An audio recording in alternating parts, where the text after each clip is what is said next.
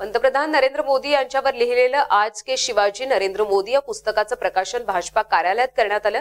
हे पुस्तक प्रकाशित झाल्यावर अनेक राजकीय मंडळींनी याचा विरोध केला तर पंतप्रधान नरेंद्र मोदींची तुलना छत्रपती शिवाजी महाराजांशी करण्यात आल्यानं विरोधकांनी भाजपवर टीकेची झोड उठवली यात राज्याचे मंत्री जितेंद्र आव्हाड यांनी प्रतिक्रिया देत माझी लायकी काय आहे हे स्वतःला कळलं पाहिजे. मोदींनी यावर स्वतः नकारात्मक प्रतिक्रिया दिली पाहिजे. हा शिवाजी महाराजांच्या मातीचा अपमान आहे. असं वक्तव्य केलं आहे. असं आहे की एक लक्षात घ्या. माझी तुलना कोणी कोणा कशाशी करो?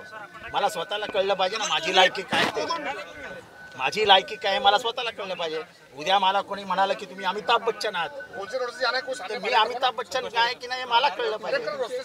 त्यामुळे मोदी मोदींनी स्वतः या पुस्तकावरती नकारात्मक प्रतिक्रिया दिला पाहिजे. हा शिवाजी महाराजांचा महाराष्ट्राच्या मातीचा अपमान आहे. मला एक छोटस गाणं आठवलं. कौवा हंस की चाल चला लंगडा कर थोडा थोडा. एक गधेने कोशिश की वो भी बन जाय घोडा. प्रत्येकाने आपापल्या लायकीप्रमाणे राहायचं असतं ते मलाही लागू आहे आणि ते मोदींनाही लागू